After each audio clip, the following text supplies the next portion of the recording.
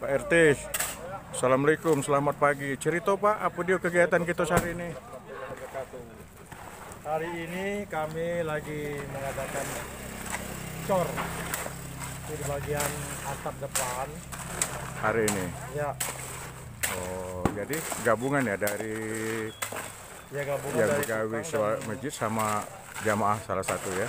Iya, Oh, dari hari. Diperkirakan sampai jam berapa? tukang dan masyarakat. Masyarakat alias jamaah masjid akbar ya. Yang ini yang dicor Pak ya. Ya, Sampai di atas ya. Ah. Oke. Dilanjut Pak RT. oke, terima kasih.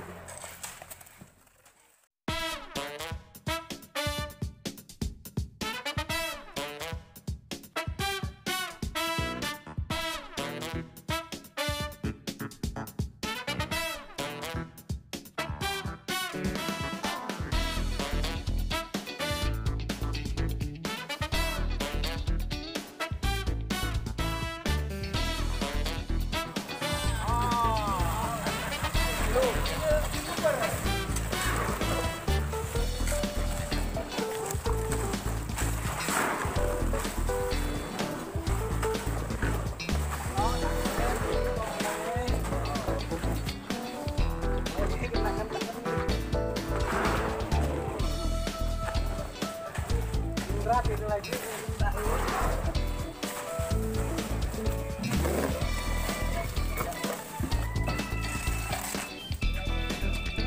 yeah, yeah.